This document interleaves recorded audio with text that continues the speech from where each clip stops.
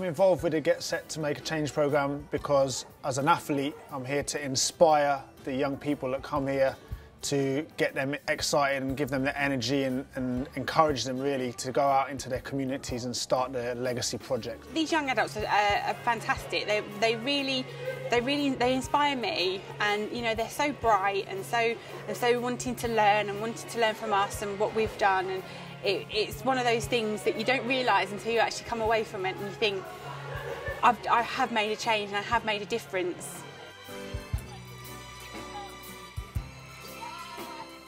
Think it's extremely important to carry on the legacy of London 2012 because obviously there was such a good atmosphere at the Olympics and I think it's like good for future generations to be able to continue that and experience it themselves. Meeting Etienne and Natalie was pretty inspiring. Um, I got to uh, hear a few of their experiences in their sport and also at the Olympics which is pretty cool. Got to hold the gold medal, bronze medal, the Olympic torch, which was also a good experience for myself.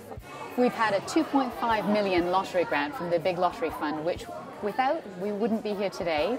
We wouldn't be visiting all the four corners of the UK, so we feel really very lucky. And the intention is, is we reach out to young people between the ages of 14 to 19 to empower them with some new skills, new networks, new knowledge about how they can go into their communities and create projects based on healthy and active lifestyles and a bit of sports participation to make those healthy lifestyle choices within their own community.